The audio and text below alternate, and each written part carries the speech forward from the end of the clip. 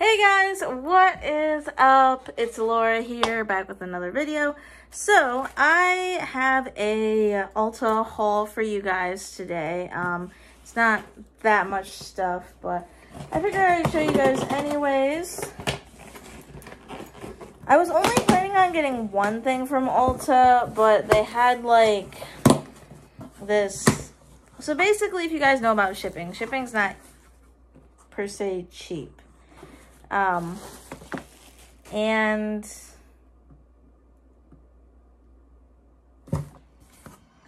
so basically, um, shipping's like five ninety nine or something like that. So the item that I was going to get was like $29 and I think it said free shipping $35 or more. So I was just like, okay, well, I'm basically going to have to pay $35 anyway, so might as well just see what the website has. That's how they get you to buy more things. They try to play that kind of thing. So, I hate that they don't put prices on here. So the first item that I got, this was for, I have to do like a review on this for Ulta's website, so it's not like a for funsies thing. I might like put this in a future giveaway or something because I don't use it, but it's the ZitKilla early, for early stage and newfound zits. Um, so basically Zit ZitSticka has like these patches that you can put around your face as well as they have like pills slash tablets that you can take that should help with your zits.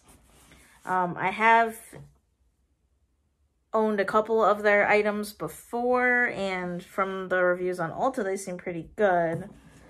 Um, and then the next item that I got is the Truly Beauty Rainbows in Mirrors Split End Treatment Hair Mask.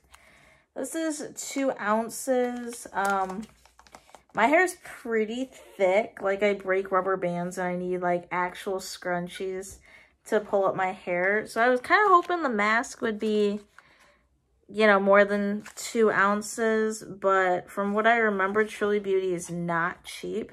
Like, I remember wanting... What I actually wanted from them was their CBD um, infused, like, body butter or or one of their face masks. But they were, like, I want to say almost $40 maybe less for the masks. So I got this instead because my hair does get pretty damaged. It's got avocado, vitamin F, and argan oil boost. So this should be pretty fun to use. Um, what are the other ingredients?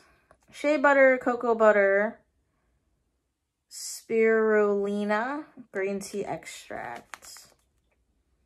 Yeah, I guess I'll give it a try and see how it handles my hair.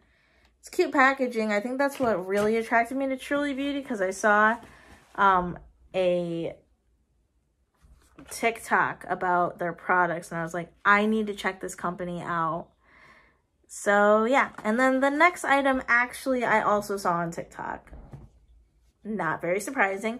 So this is from the brand The Ordinary. I call it Ordinary, um, but this is their AHA 30% and BHA 2% peeling solution, and it's a 10 minute exfoliating facial pH.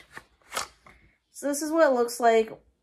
The TikToks that I've seen with this is it kind of looks like you're putting blood on your face for some reason. Um, as you can like see the bottle and stuff. This, I thought that it would be like hella expensive to buy it but from what I remember, well, Ulta had like a buy an item and get like 20% off, but it had to be, I know those coupons, they run a lot, but I missed out on the buy 15, get 350 off deal. Um, but you can't use it on like prestige brands. So like this, I couldn't use it on.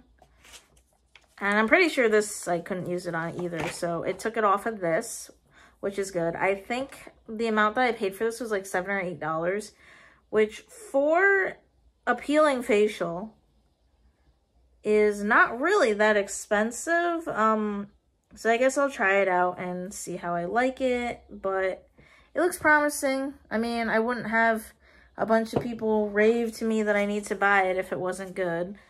So yeah, that's the haul. Um, not very large, but like I said, I, I didn't really need to buy these things. It was technically only this that I needed to buy. But I'm excited to try these two products out. I was wanting to give these brands a chance. And yeah, thank you guys so, so much for watching and have a lovely and wonderful day. Bye.